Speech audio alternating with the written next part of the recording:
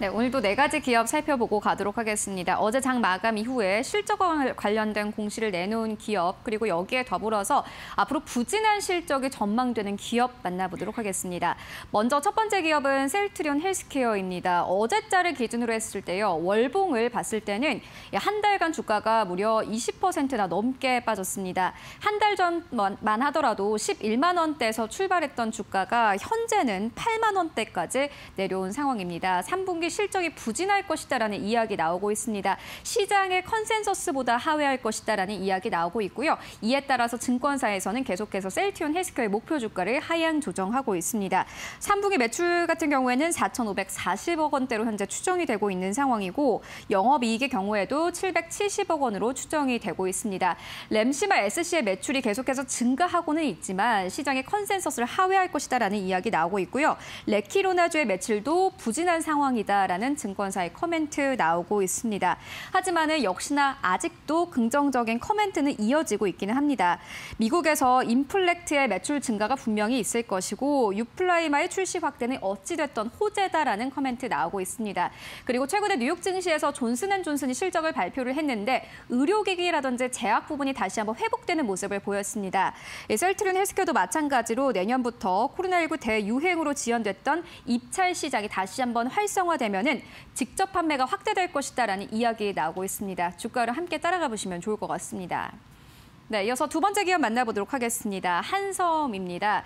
겨울 되면 많은 분들이 의류를 구입을 하기 때문에 겨울 수혜주로도 꼽히는 기업인데요. 외국인들이 한섬을 10거래일간 2거래를 제외하고 계속해서 매수 포지션을 취하고 있는 상황입니다. 특히나 최근에 CJ ENM과 공동 제작한 웹드라마가 공개가 되면서요. 굉장한 인기를 끌기도 했습니다. 특히나 브랜드 노출 없이 타임이라든지 시스템과 같은 주요 브랜드를 자연스럽게 녹여냈다라는 증권사의 평가가 이어지고 있습니다. 그리고 자연스럽게 이 온라인 매출이 덩달아서 증가했다라는 평가가 나오고 있는데요. 3분기도 역시나 마찬가지로 실적이 두 자릿수의 성장이 기대가 된다라는 이야기 나오고 있습니다. 증권사에서는 잇따라 목표 주가를 상향 조정하고 있는 상황인데 한섬의 주가 연말까지 꾸준히 따라가 보시면 좋을 것 같습니다. 네, 이어서 세 번째 기업 만나보도록 하겠습니다. 롯데케미컬입니다. 계속해서 수소와 관련된 사업을 확대하고 있는 상황입니다. 글로벌 수소 펀드에 1,400억 원을 투자한다라고 어제 뉴스가 나왔습니다. 아시아 화학사 중에서는 유일하게 핵심 투자자로 초기에 좀 참여를 하게 됐다라는 뉴스 나오고 있는데요.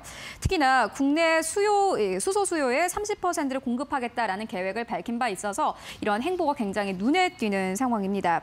특히나 인도네시아의 석유화학단지를 1조 4천억 원을 출자를 해서 만든다라는 소식까지 어제 장 마감 이후에 들려왔습니다.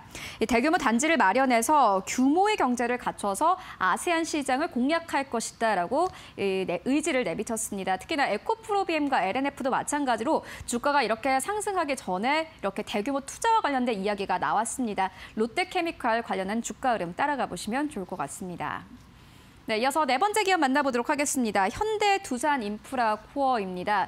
간밤에 헝다 이슈와 함께 오늘 아침부터 오늘 우리 증시에서는 건설주가 좀 부진할 것이다라는 이야기 계속해서 나오고 있는데요. 어제 장 마감 이후에 현대 두산 인프라 코어가 굉장히 부진한 실적을 내놓기도 했습니다.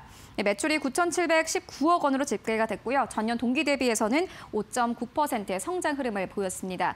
하지만 영업이익이 굉장히 부진했습니다. 중국 시장이 둔화하면서 3분기 영업이익의 경우에는 전년 동기 대비했을 때 47% 넘게 감소했다고 합니다. 하지만 신흥과 북미 시장은 경기 부양책 본격화에 실적이 개선되고 있다는 평가가 이어지고 있고요. 다음 분기부터는 눈에 띄는 실적 개선이 이뤄질 것이다라는 평가 나오고 있지만 어찌됐던 영업이익이 굉장히 크게 줄면서 부진한 실적을 기록했다라는 부분 오늘장 등 함께 하시면 좋을 것 같습니다. 네, 지금까지 네 가지 기업 살펴보고 왔습니다.